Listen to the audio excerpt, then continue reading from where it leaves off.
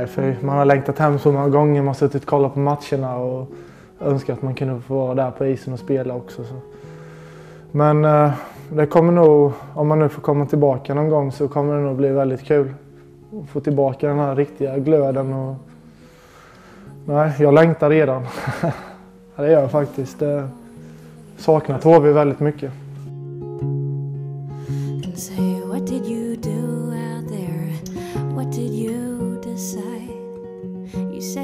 Time and you had time. Martin Törnberg har precis kommit hem efter sin första säsong i KHL. Hockeymässigt har det gått över förväntan för Martin där han återigen har gjort 20 mål på en säsong.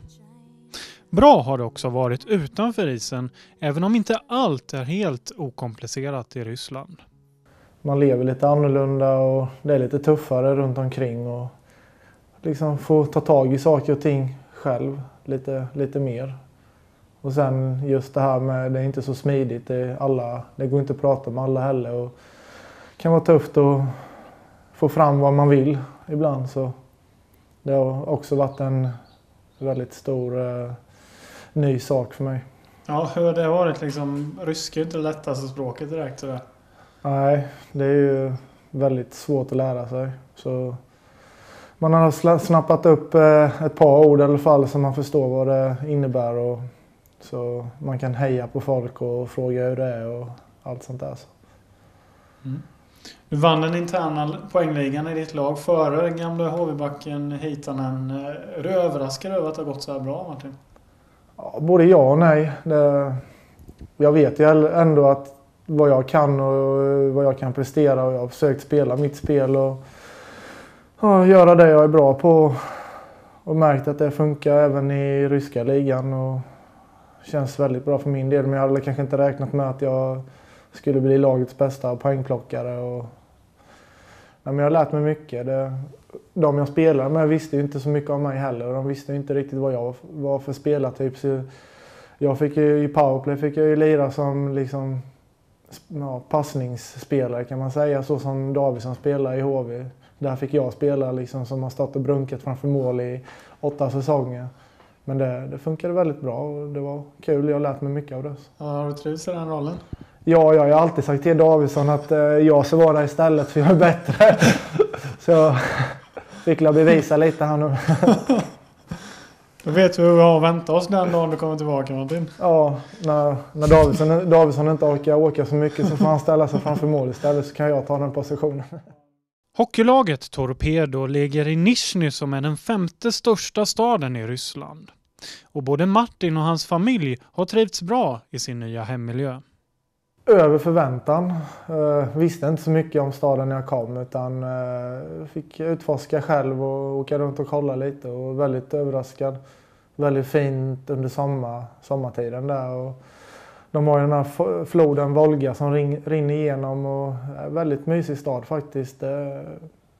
Väldigt överraskad.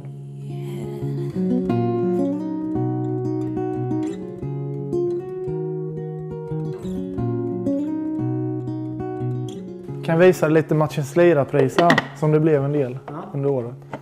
Jättefin. Fick en till där, vi som har gett någon till mamma och pappa där. Jag vet inte vad det är för något, jag har inte en aning om vad det är.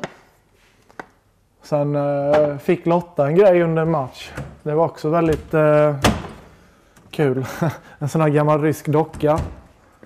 Så, så har man ju mitt prote- pro, porträtt... Fan, jag kan inte prata.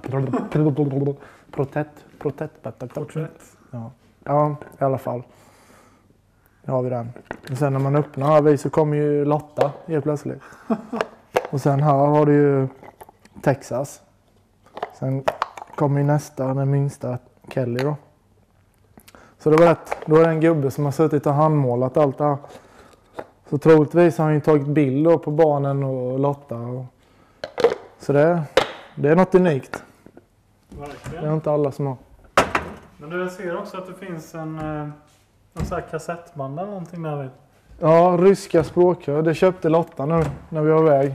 Tänkte att vi försöka lära oss lite innan vi åker tillbaka hem. Hur går det med språket då? Ja, harasho, harasho. Nej, det går, det går sådär alltså. Det, man har lärt sig lite i alla fall. Sen kan jag visa, vi fick lite avslutningspresenter sen när, när vi fick åka hem. Jag vet inte vad det här är faktiskt, men det ska vara något glas. Något liknande. Jag vet inte. Man skakar. Det är någon sån här...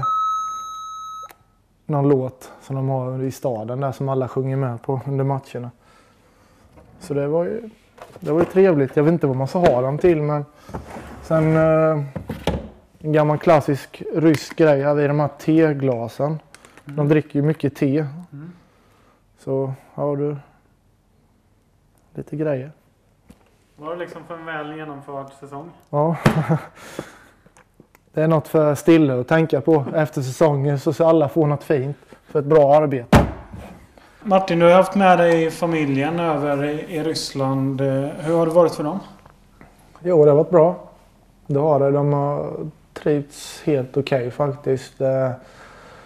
Känns sig lite låsta emellan, mellanåt.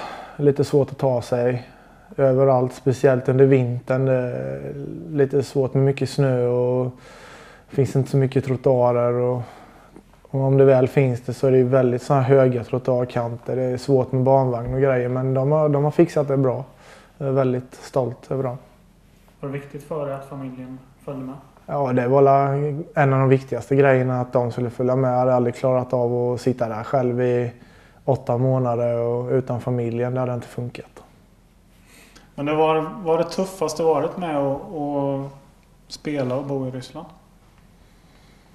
Ja, nej men det är just det här man har inte egen bil och man, kan liksom, man har inte den friheten man kan åka iväg och ja, göra vad man vill utan allt är ju så himla krångligt. Och vi som bor i hus nu så är det ju så himla smidigt att kunna gå ut bara och sätta sig. Det är, här ska du liksom ta med allting och det finns knappt inga ställen att sitta på utan vi har lite lekparker och så man kan gå till men annars är det inte så mycket. Så allt är ju lite krångligare och tuffare när man liksom inte har egen transport och sånt. Så man får förlita sig på andra, att de har tid och kan. Sen eh, Nizjnys största supporter hade de ju med. Och det är? Texas. Det är den äldsta, äldsta barnet. Gick han på alla matcher? Ja, han tyckte det var så kul. Det var lite skillnad där i Nizjny för alla familjer och fruar och sånt fick ju sitta precis vid sargkanten. Så det blev en helt annan känsla att vara på hockey för barnet. De har ju suttit uppe i logen annars i Kinnarps och inte sett så mycket och kanske inte känt den stämningen. Nu fick de ju stå precis vid sargen och så liksom när det smällde i plexit och allt. Så han har ju, han har ju tyckt det varit jätteroligt. Så det har varit kul. Men du har inte glömt bort rötterna uppe sig? Nej, för man har längtat hem så många gånger. Man har suttit och kollat på matcherna och önskat att man kunde få vara där på isen och spela också. Så. You